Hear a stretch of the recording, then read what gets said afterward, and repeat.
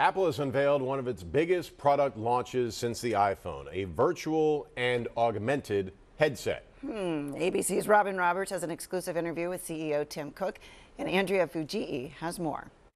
This morning, Apple celebrating what's being called the company's biggest product launch in years. It's the first Apple product you looked through and not at. Apple unveiling the Vision Pro, a new virtual and augmented headset, calling it their most ambitious product yet.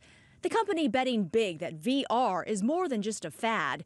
GMA's Robin Roberts sitting down exclusively with Apple CEO Tim Cook. You can see, hear, and interact with digital content right in your physical space. And this is a huge idea.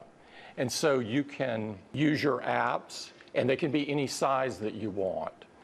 You can immerse yourself in movies, TV shows, sports and feel like you're right there.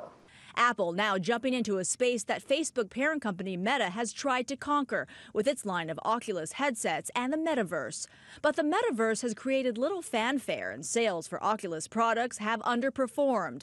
With Vision Pro, Apple is offering higher end components, better build quality, and more features, including the ability to record and play back 3D images and video. If you purchased a new state of the art TV, surround sound system, powerful computer with multiple high definition displays, high end camera, and more, you still would not have come close to what Vision Pro delivers. But all that technology comes with a price. The headset starts at $3,500, more than triple what the most expensive headset from Meta costs.